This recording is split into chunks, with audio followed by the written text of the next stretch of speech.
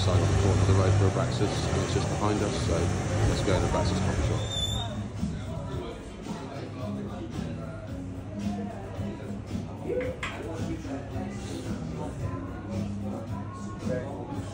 Here we are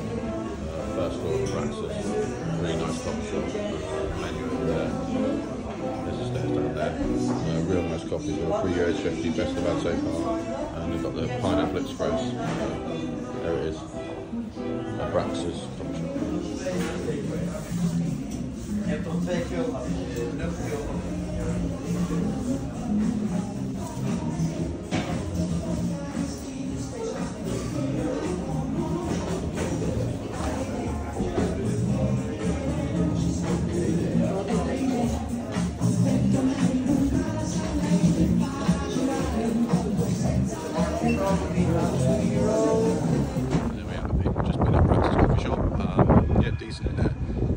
Have to take my hat off, but didn't have to, so even better.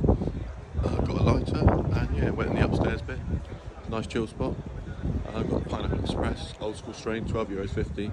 So uh, yeah, gonna go home soon because it's getting late.